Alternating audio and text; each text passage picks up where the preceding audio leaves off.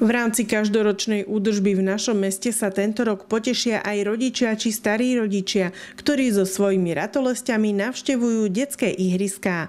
Mamičky už dlhodobo poukazujú na fakt, že lavičiek je na ihriskách málo, ak tam vôbec nejaké sú. Na základe požiadavek občanov Mesto pristúpilo k mapovaniu stavu lavičiek na detských ihriskách. Počas toho, ako si deti užívajú hojdačky, preliesky a ďalšie, musela väčšina dospelých postávať okolo. Už čoskoro si však budú môcť všetci, ktorí s deťmi na ihriska pôjdu, aj posedieť a aspoň trocha si oddychnúť.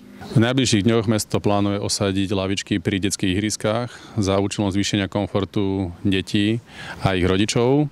Celkovo sa medzi tieto ihriská rozdelí 20 kusov nových lavičiek a s prácami by sa malo začať už čoskoro. S budovaním základov betónových sa začne v priebehu budúceho týždňa, čím chceme poprosiť občanov, aby toto rešpektovali a dali pozor na deti, aby nedošlo k úrazu. Následne po vyzretí základu budú osadené lavičky na prelome mesiacov by teda mohli byť novúčké lavičky už na svojich miestach. K tejto práci patrí rovnako aj odstránenie starých, už nevyhovujúcich lavičiek. Ani väčšina z nich však neskončí na smetisku. Potom, ako prejdú obnovou, budú opäť osadené v našom meste.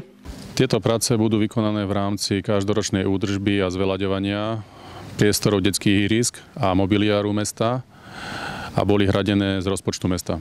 V rámci plánovaných investícií to však nebude jediná obnova. V uliciach nášho mesta pribudnú aj kryté kontajnerové stoiská. Ide o smetné stoisko na ulici Husická Nová, kde dôjde k zlúčeniu troch menších čiastkových stoisk do jedného veľkého stoiska.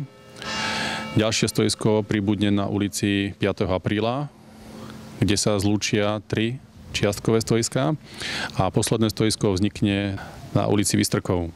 Takéto klietky by mali postupne nahrádzať bežné stoiská v našom meste, a to z jednoduchých a praktických dôvodov. Plánom mesta je snaha optimalizovať rozmiestnenie stoisk smetných nádob za účelom efektívnejšieho zberu, ale aj následne uzatváraniu. Uvedené stoiská by mali byť namontované v priebehu mesiaca október. Predpokladané náklady na vybudovanie uvedených stoisk sú 29 tisíc a budú uhradené z rozpočtu mesta. Netreba však zabúdať, že aj v týchto ohradených priestoroch je potrebné udržiavať poriadok, aby celá práca nevyšla na vnívoč. Ďalšie stoiská mesto plánuje budovať v priebehu budúceho roka na základe podnetov občanov.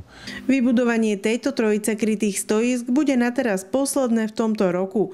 Ak to bude možné a ďalší obyvateľia prejavia záujem, malo by mesto pokračovať opäť budúci rok.